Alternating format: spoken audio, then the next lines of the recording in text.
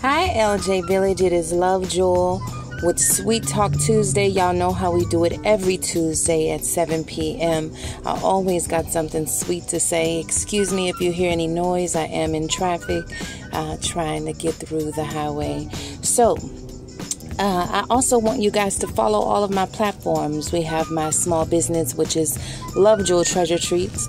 We have my daily inspiration and poetry on Love Jewel Bookshelf, um, as well as my artistry and music um, on I Am Love Jewel. All three of those platforms are active and um, updated um, when I get when time permits. So um, I appreciate your followings. I appreciate the support. I appreciate the messages to tell me to keep going and do what I'm doing. Um, and I just hope that you know, no matter if it's only one, one is plenty for me. So, you know, I, I I'm just appreciative and I'm grateful.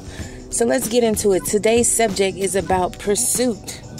When you are pursuing you have to make sure that all of your baggage um, is sorted out. You have to make sure that you are well and ready um, when pursuing. And I know that's hard to do. You may see somebody that you really want in the midst of you going through a load. Um, and you don't want to miss the opportunity, which is great and good. Uh, but make those people aware of where you are, where you stand, um, the space that you're in, and and have an open communication on the table so that everybody knows what they're dealing with. Um, another thing is also, you know, making sure that you're able to care for this person. If you know that you just want to fling, let that person know that that's all you're looking for. Don't uh, mislead by allowing things to look deeper or be deeper than what they are um, if that's not how you entirely feel.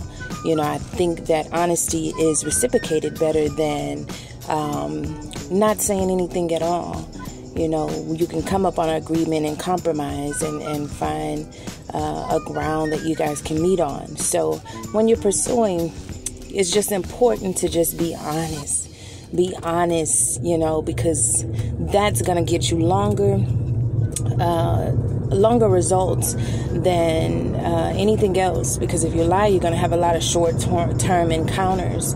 And that, if that's what you want that's fine. But um, just make sure that you communicate what it is that you're looking for and what you're in need of and where you are in life. So as usual you know how we do it. We meditate we drink our water and we tap into our strengths.